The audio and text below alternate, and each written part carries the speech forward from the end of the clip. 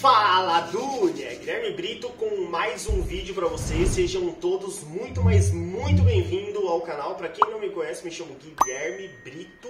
E se você faz parte do mundo do narguilho, você tá no lugar certo, porque você também faz parte do Dunia Ruka. Tô aqui hoje para dizer para você que infelizmente sua vida é uma mentira. Você não sabe lavar um vaso de.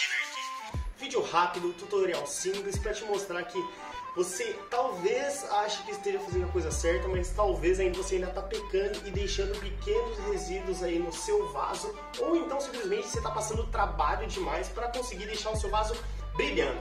Deixei aqui o meu vaso bem sujo para ver se ele pegava umas marcas d'água. Acho que não chegou a pegar, mas eu vou tentar aí mostrar por cima como se faz e vou dar outra dica depois de como você também pode fazer para simplificar e para amenizar os custos aí para você limpar o seu vaso. Então, sem mais enrolação, solta a vinheta e vamos pro vídeo.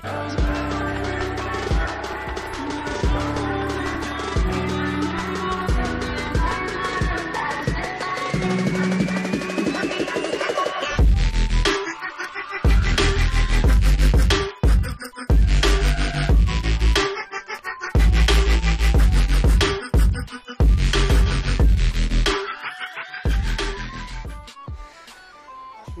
vamos lá. Aqui, ó, a gente tem um vaso, acho que dá pra ver que a água tá bem suja, que eu deixei a água aqui uns 4, 5 dias, né? Aí, normalmente, quando a gente vai lavar o vaso, o que eu vejo, né, pelo menos em grupo, se você não faz isso, você pode desconsiderar, ou se você faz, deixa aqui nos comentários pra gente bater um papo legal. E aí é o que é o seguinte, normalmente as pessoas quando vai lavar o seu narguile, usa uma, duas, três vezes, e aí pega essa água suja, joga fora, e aí faz o quê? Um pouquinho de detergente, joga dentro do vaso, joga uma aguinha e da aguinha, dá aquela chacoalhada, bem chacoalhadinho, faz aquela espuminha marota, despeja fora e volta a fazer isso até sair, até sair a espuma do vaso. Vamos tirar aqui a espuma, pá. Teoricamente, o vaso tá limpo, tá show de bola, bonitão, né? Então, vamos colocar um pouco de água aqui para dar uma olhada na cor da água, né? Que acho que isso é muito importante. E ó, vocês podem ver que a água tava bem amarela, agora tá até com um pouquinho de espuma ainda, mas transparente. Então muita gente simplesmente entende que isso é uma limpeza.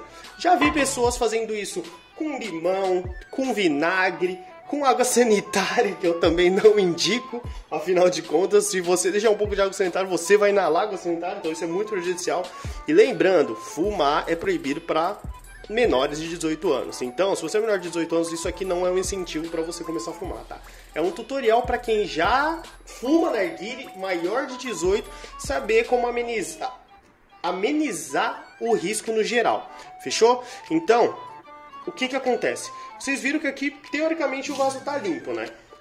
Então agora eu vou te mostrar como eu normalmente faço e depois eu vou falar como seria ainda mais indicado.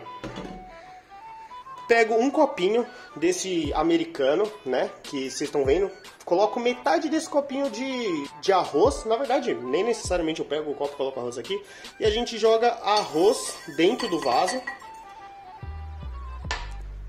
um pouquinho de detergente, isso é maravilhoso para tirar marca d'água, você não faz ideia. E aí a gente coloca um pouquinho de água. Ó, pode ver mais ou menos a cor água. Se vocês forem ver, ela tá meio amarelada por causa do, do detergente, com um pouquinho de arroz lá dentro. E agora a gente segura aqui, ó, na tampa e vai girar.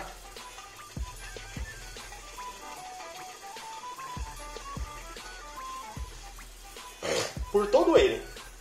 Que aí o arroz vai fazer o quê? O arroz ele vai passar por todas as partes e vai tirar sujeira.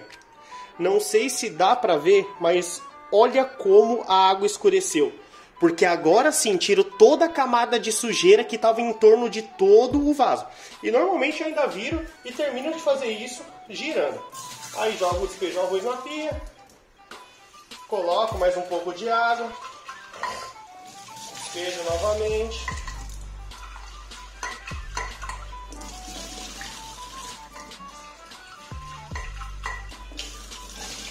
E pronto. O arroz saiu todo de dentro do vaso. Se vocês repararem, não tem absolutamente nenhuma marca d'água, até porque ele já não tinha. E sim, saiu toda a sujeira no bruto.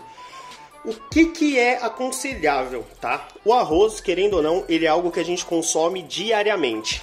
Não é o mais indicado usar arroz. E aí o Gabriel Dietrich, um amigo meu, né, que inclusive começou a fumar narguilha comigo, ele sugeriu de fazer o quê? Substituir o arroz por sal grosso, que eu acho que é muito mais eficaz.